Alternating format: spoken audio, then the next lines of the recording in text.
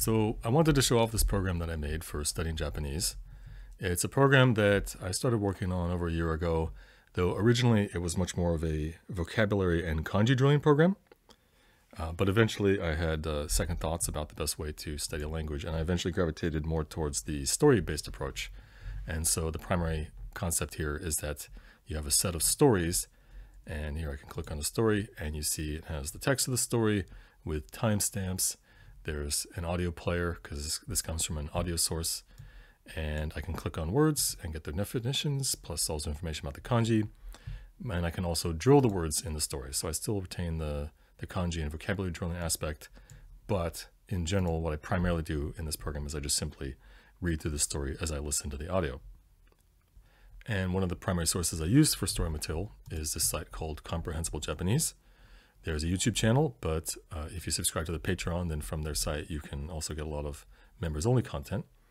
Here, I'll just pick a random free, yeah, I'll pick one of the, the, the free stories. I'll just pick this one. And let's say we want to add it into our set of stories in the program. So I'll need the title, copy that into the top uh, entry field, and then I will get the link, plug that in here. I will get the transcript, and I generally, yeah, I want I want them separated by lines. So this is actually conveniently what I want to copy. Uh, the footing will get uh, not not included in the copy, but I don't actually want it anyway. I don't tend to like reading footing Um, okay, so that's what I need, but also I want the file uh, from the MP3. Um, if, you, if your story is from a YouTube source, then you can just plug in the YouTube link, but uh, otherwise you'll need to get an audio file. So here I'll, I'll save this. I'm going to copy that name because I'm going to need that name and then in this field. That, that, that copies it into a directory under my uh, under the, the application directory and then I have it in a subdirectory called ignore and then the name of the file. Okay so now I'm ready to create the story. Uh, it creates the story.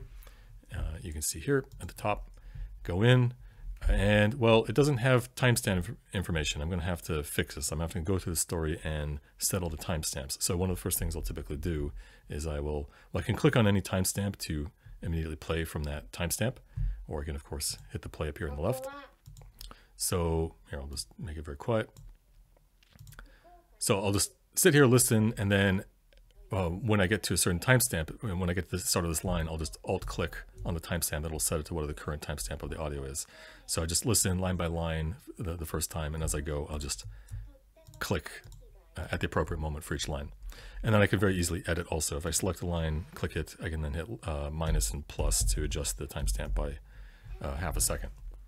So it's fairly easy to add in timestamps for each line, though. You know, it'd be nice if it were automatic, but it's it's not too onerous. And I, I mean, you end up listening to the story for the first time anyway, so I don't find it like actually all that much extra work.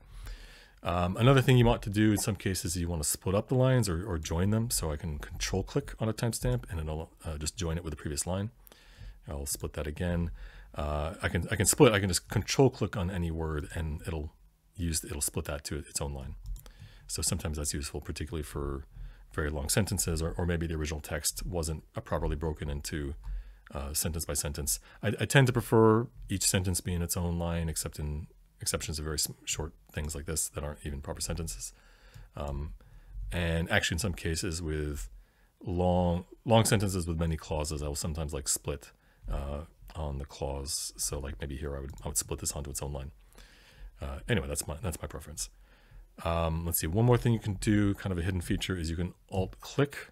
Uh, sorry, yeah, alt middle click on a timestamp, and it'll take that line and open it up in Google Translate. Here, I'll do it with a more interesting line.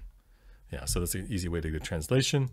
Arguably, there should just be some, you know, if, if Google provided an easy to use and a free API, I would just automatically get all the translations for every line and just show it in line here. But uh, this is the, the hacky next best solution I found. Uh, another feature is I can middle click on a line to just mark it. And I find this useful for um, particularly, uh, well, if there's a word with interesting vocabulary or interesting grammar, um, I will just mark those lines as interesting. And so when it comes time to review a story, repeat it again, um, I will in many cases just first go through all the, the marked lines and, and maybe not even read the rest because maybe the rest isn't very interesting. So it's just a, sort of a way to get, you know, more efficiently get more out of each story when you when you repeat it. Okay, so actually go back to the catalog here, the, the main menu. So a key idea is that uh, I think a key part of the process is that you do repeat these stories. You don't want to just read each one once. Um, I, I, do find when when I when I go through a story the first time, well, first I listen through it and mark the timestamps.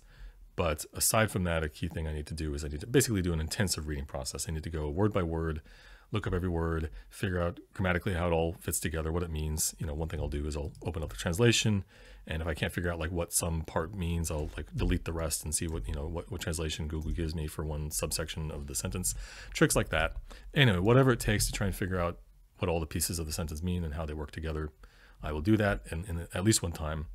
It is a slow, intensive process. It takes me, you know, 30 minutes to get through five minutes of audio often when I when I read that way, but it, it it's a, a valuable exercise it's it's an investment each time you start a new story and, and go through this intensive process. But I, I, think it's basically what you have to do to understand what you're looking at. Um, oh, so importantly, one one feature here is you can click on a word and you get the definitions and plus the kanji information. Though I use this uh, plugin 10ten, you can see as I hover over on, on any web page, not just this web page, I, um, I just hover over and it gives me definitions and also I can get the kanji information. I find this extremely useful. In fact, I generally use this instead of clicking on the words. I don't click on the words very often. Uh, important feature that you may have noticed, but I didn't explain, and that is the fact that the text is uh, syntax highlighted based on part of speech. So verbs, for example, are in this dark red, and then the auxiliary portion is in this pale red pink color. Um, determiners, as you might call them, are in this blue. Particles are yellow. Nouns are white, etc., etc. Um, so I'm using this open source library that does analysis, uh, grammatical analysis of Japanese text, and it does a pretty good job. It's not perfect, of course, but it, it's pretty good. Um, in some more advanced text, I do find it, you know, makes more mistakes, but for the most part, it's quite accurate. And so I use that not just to identify the parts of speech, but also to effectively identify what the drill words are. Um, like, for example, for verbs, instead of um, adding every single form of every verb into the drill word set, it'll it, it identifies the base form and so only the base form gets added as a word in your in your drill set. Uh, also, it'll add the kanji of every word into the drill set. So anytime you add a story and it has a new kanji that's never been, been seen before, that'll be added as a as a uh, word to drill. Um, also, you'll notice that some words are highlighted, and the idea there, well, if I click a word, I can then hit uh, the keys one, two, three, or four to set its rank. See at the bottom, I'm setting the rank of the word, and the, the highlighting changes based on what the rank is. Um, well, the idea of the rank is that for drill purposes, you want words to have a cooldown. Every time you drill a word, it, it uh, gets marked with a timestamp and, and goes on cooldown. And rank one words go on cooldown for three hours. Rank two words go on cooldown for three days. And then rank three words go on cooldown for 30 days. And then lastly, rank four words go on cooldown for a thousand days, which is effectively forever. So in practice, like, like say I encounter a word that I happen to already know, and I don't want to ever see it in my drills again. So I'll just simply mark it as four and effectively dismiss it from my drills entirely. Um, but otherwise, the idea is that when you encounter a new word, you want to like have it, you know, promoted up the ranks. Like you'll drill it a few times, and, and as I drill, same deal. I can I can hit uh, for the word at the top here. I can hit one, two, three, or four to to set its rank, as you see here. Um, so yeah, uh, maybe if I decide, okay, I'm actually pretty good on this one, so maybe I'll inch it up to two, or no, it's even a three already. Whatever. It's all up to my own discretion and I can change any of this at any time really. Uh, notice also in the drills I can filter based on rank. So currently it's, it's matching all words of all ranks. Uh, currently it says it's it's only drilling me on words and kanji that are off cooldown, but I can say only show me ones that are on cooldown or show me both. Uh, I can also filter based on type. I can drill just the kanji characters or katakana words, which I sometimes find useful, or or verbs, which I find also sometimes useful. Uh, yeah, so a number of options there. Um, notice also it's giving you the breakdown for the story of, of the words in the story and how many are on cooldown at this moment. So currently this story has, say, uh, 209 rank 4 words, 58 rank 1 words, 58 of which are currently off cooldown, which I guess is all of them. Anyway, so back to the story page. There's this option here. You can toggle whether it is highlighting all rank 1 3 words or just the ones that are off cooldown. Um, by default, it's only the ones off cooldown. You can adjust the playback speed for the, the player. Uh, and then generally the idea is that every time you read a story, you want to hit this button to mark the story as read. And what that's going to do is it's going to, it's going to, for each story, increment the, the, the total count of times you've read that story. and then we also have this read countdown, which currently is set to three. I could just at any time modify this to anything I want. And so if I want to repeat the story five times, then I would set the countdown to five. And then over the course of the next few days, the next week, I would read it up to five times. And when I hit the mark story as read button, it'll not only increment the total read count, it'll also decrement the countdown if it's greater than zero. Again, though, what stories you read in what order is, is entirely up to you. This is just sort of a, a tool to help you track what you were planning to do, sort of loosely keep track of, of uh, how often you were supposed to do something or, or plan to do it. Um, so back on the main page, in fact, here you also can set the countdown here. Every time you read the story, it sets a timestamp. And so here in the left column, it's, it's sorting the stories based on the time you last read it. Uh, here's the total read count. And then unknown and weak, those are rank 1 and rank 2 words respectively. So this first story has 106 rank 1 words because I just added it and 16 rank 2 words. Notice also this checkbox which is on by default. When this is on, we're only seeing stories with a countdown greater than 0. If I disable it, now I'm seeing all the stories.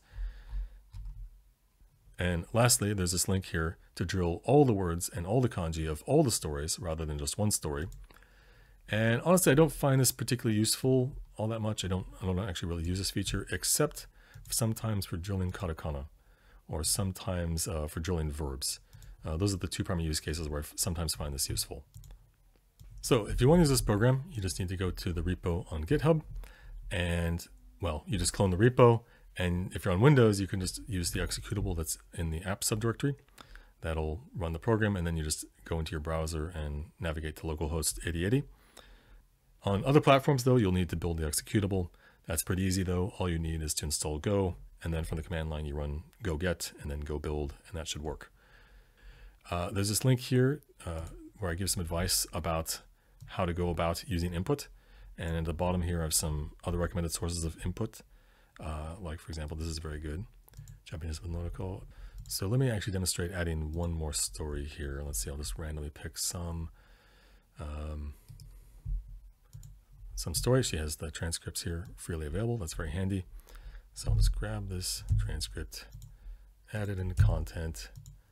I will need to, ooh, oh, right. In this case, I will actually go to your YouTube. yes, so this is an example of, of we'll use YouTube, the YouTube link instead because uh, otherwise it's, it's not, I don't know of a better way to get the, an easy way to get the MP3s. So I'll copy this link there. Um, if I have a YouTube link, I don't need an audio file path because the player will be in an embedded YouTube player. And then uh, the title. So there we go, title. Now create, come in here, and uh, all the same controls work. So I can just click on any, uh, oh, kind of a bad example here. I'll just jump to random. Yeah, so all, all the controls work the same with the YouTube embedded player. Anyway, that's my Japanese training program. I hope it's useful to someone. There's a number of ways in which it could be improved for sure. If you had feedback, let me know. Uh, one obvious thing is I could adapt it to support other languages. Uh, right now, it assumes you're entering Japanese text and uses a Japanese parsing, but but there's really no reason it couldn't support other languages. If you're interested in that, let me know. In fact, if you're interested in trying to contribute yourself, uh, I encourage you to do so. The the code is, is really very simple. There's not, well, you know, it's not perfect code by any means, but it's relatively clean. And well, there's just not a lot of it really. It's actually in the end a quite simple program. For as many iterations I went through and many variations of how the program functioned over the over the year or so I developed it, in the end, it's it's really quite simple.